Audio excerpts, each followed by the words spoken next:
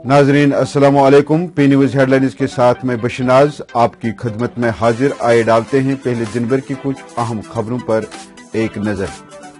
रूस Covid vaccine बनाने वाला दुनिया का पहला मुल्क बन गया है। व्लादिमीर पुतिन, इंसानों पर ट्रायल के बाद कोरोना वायरस की वैक्सीन को बाकायदा मंजूरी। जम्मू कश्मीर में कोरोना के मजीद पाँच सौ चौसठ अफराद मुतासर, कुल तादाद छब्बीस हज़ार तक पहुँच गई है। सबक भारतीय सदर कोरोना का शिकार मशहूर शायर राहत इंदौरी की कोरोना से मौत। पंद्रह अगस्त के बाद जम्मू कश्मीर में फोर जी इंटरनेट सर्विस शुरू, सुप्रीम कोर्ट की हिदायत।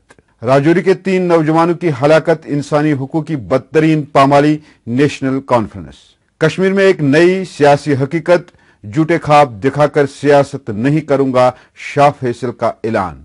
भारतीय जनता पार्टी जिला गांधरबल के मजीद चार कारकुनान ने दिया इस्तीफा।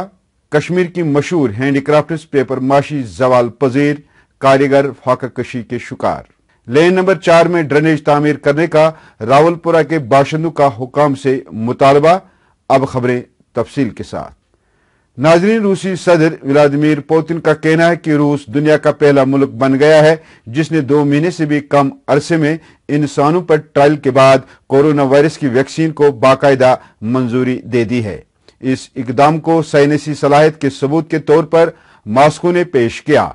तफसीत के मुताबिक, कोरोना वैक्सीन मास्को की गामालिया इंस्टीट्यूट और रूसी वजारती दिफा के इश्तराक से बनाई गई है।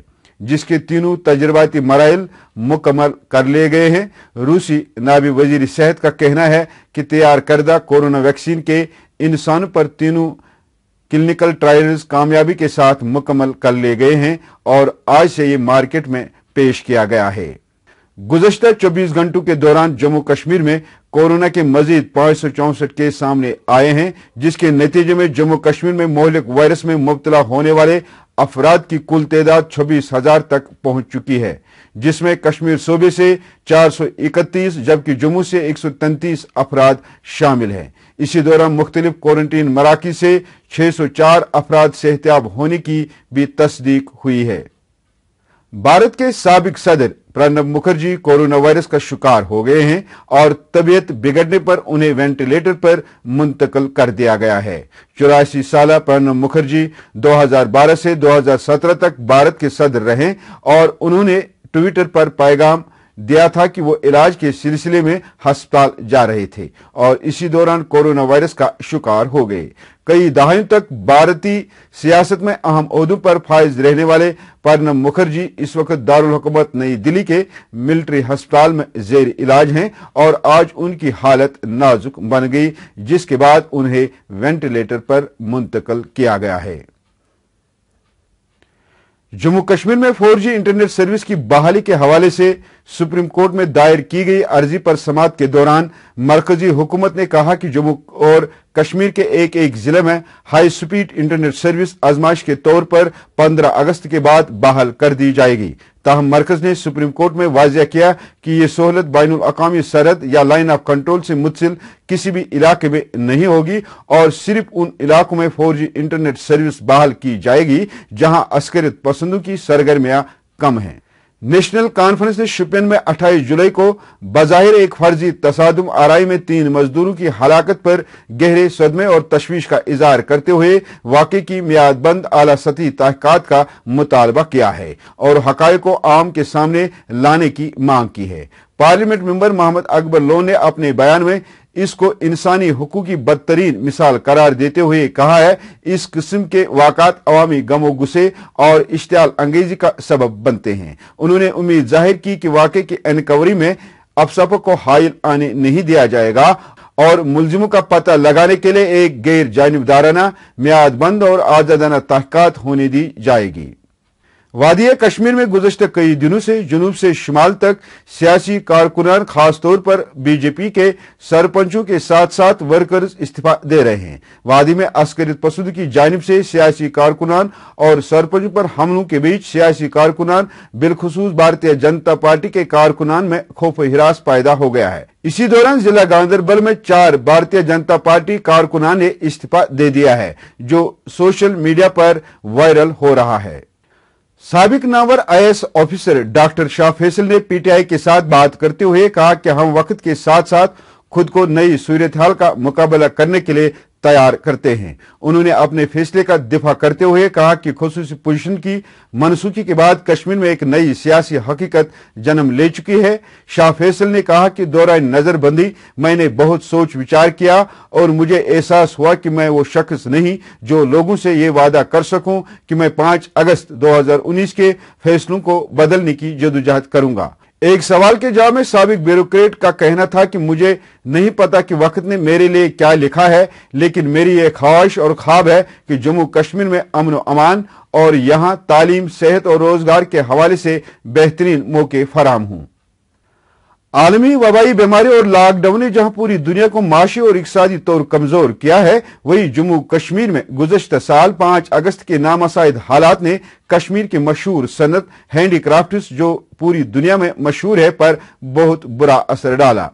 रदी कागज़ से बनने वाली कश्मीर की मशहूर हैंडीक्राफ्ट पेपर माशी भी इस सनत का एक अहम हिस्सा है जिसके ज़रिए हज़ारों लोगों को रोज़गार फराम होता था। आज जवाल पजीर है। पेश है पी न्यूज़ की ये रिपोर्ट।